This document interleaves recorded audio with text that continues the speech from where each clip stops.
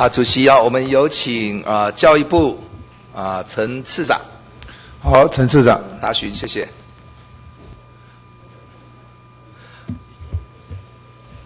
好，部长哈，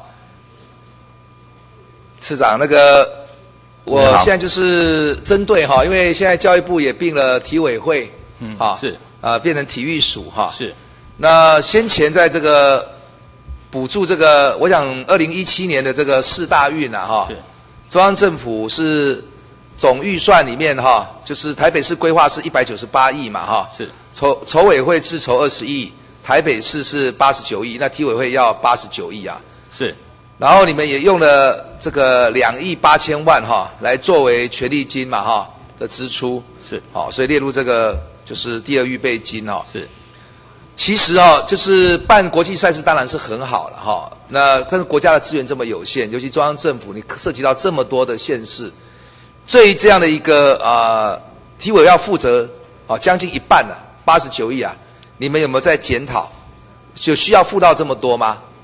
是，我想有关于四大运所需要的经费，其实是经过相关的评估，而且也提到，因为行政院经建会，因为它是透过公共建设的预算里面来指引，所以在那里面它有一个实质审查的机制。事实上，一审查就能够降低一百亿啊！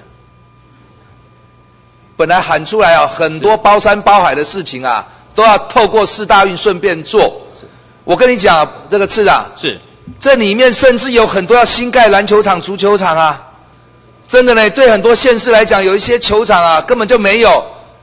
那台北市很多都可以用的，哎，我们请这个体委会哈，我们的体育署也顺便一并哈，不要紧，你站过来不要紧哈。我们这个啊署长哈，所以这个四大运哈，在全世界的这个赛事里面呢哈。还不是像奥运啊，或者是世运那样的哦。当然，他有些大学的表现也非常的好。哦，这是在台北市也办过听奥，然后中央政府的预算一直这样子用，然后一下就权力金你们也先代付，然后这个所有的东西你们没有在进行检讨吗？有没有任何的项目，或者是说你们希望能够把这个哦中央的负负担啊降低啊，甚至要求他整个。遵节预算的支出啊，整个都下降。来，请我们体育署啊，啊，我们这个卓署长，啊，你比较了解业务啦，哦。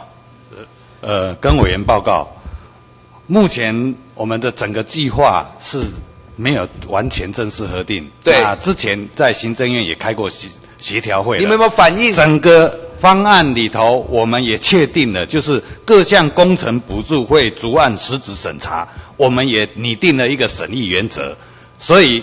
那目前我们根据这种逐项审查的实质审议呢，对于每一项的这个单项运动，它所需要的这些场馆，我们也会进行着所谓的场馆总调查。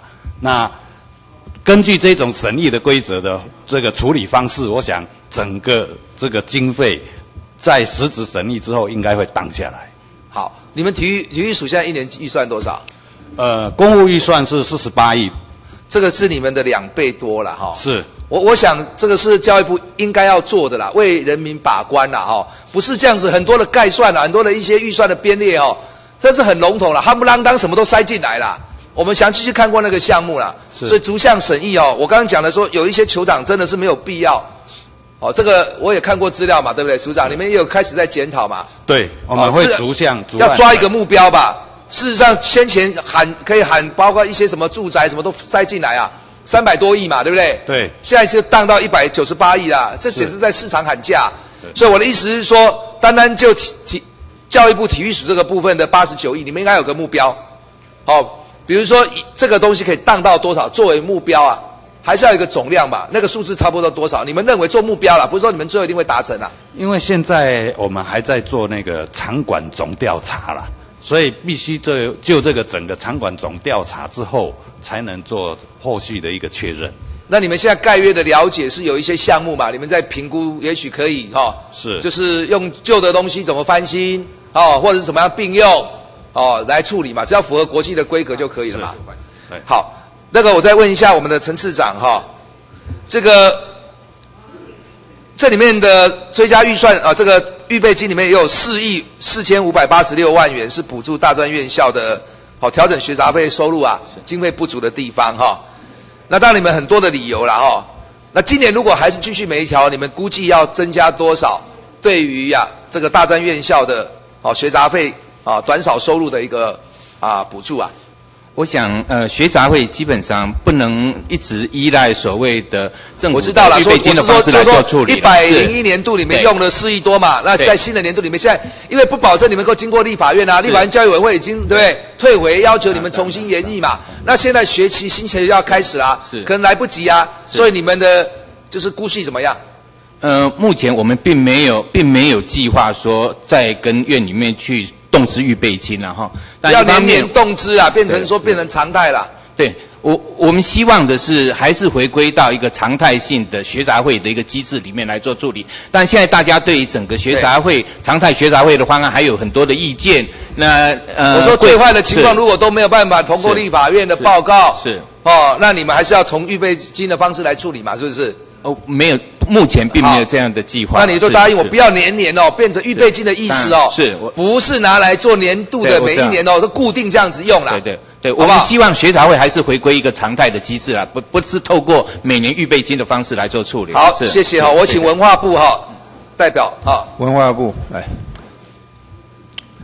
这个啊我们的许次长哈，还有我们朱局长嘛哈，时间暂停一下来。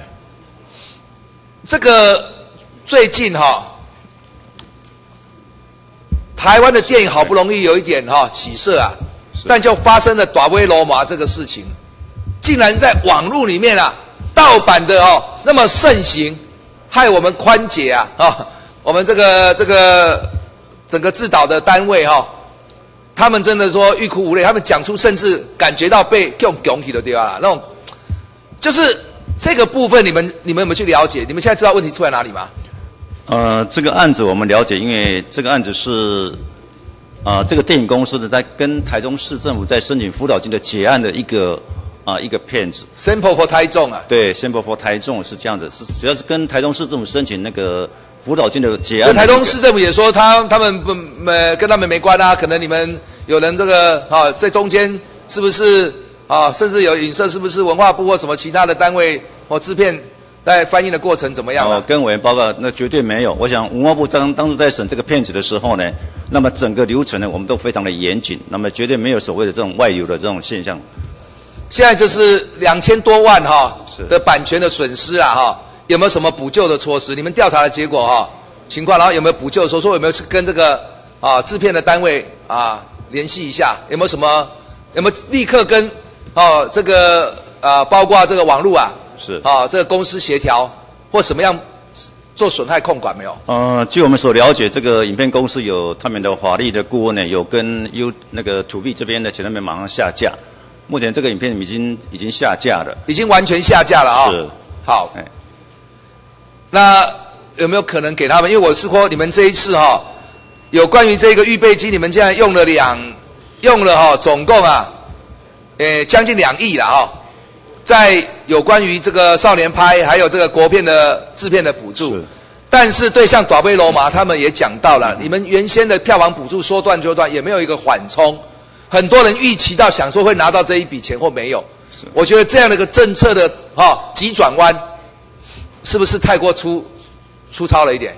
呃，谢谢委员关心这个议题。实际上，去年在这个国片的奖励的那个这个政策的时候，我们在要结束之前，我们在去年的时候有曾经跟业界呢也开过几次的咨询会，我们把这个信息呢很明确的，那么跟这些电影界的这些啊、有有讨论过，有咨询过他们的意见。因为你如果不把这个取消的话，实际上它会压缩到我们我般当然知道，但是市长，我跟你讲哦，你给少年拍一亿六千万啊，再加其他的补助三千八百三十，我意思是说，就你那个政策的改变啊，你总是要有一个日出的时间呐、啊。你当然有前面几个月讲嘛，可是对已经投入制片的人，他是三五年的历时间呢，他有这个预期啦。嗯哼好、当然我觉得这个政策绝对是要改调整的，这个没有问题。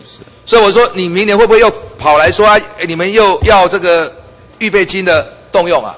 还是呃以后就不会有了？呃，目前看应该是不会再动用了。今年会不会再有类似这种情况？今年应该不会再动用了。就是因为少年派的票房很好，是是哦，然后所以哇，一则以喜啊，一则以忧，因为软囊羞涩啊，不知道哪里去拿钱哈、我们一方面希望看到国片起来，不过我是觉得说，用这个预备金来资助这个东西哈、事实上是真的也排挤掉其他的，尤其是我想对一般性的我们讲的国片呐、哦，好莱坞的商业片那是另外一个层次的问题。我觉得真正的国片哦，我是希望说你们对于这个部分啊，为什么我们立法院教育委员会会通过退回？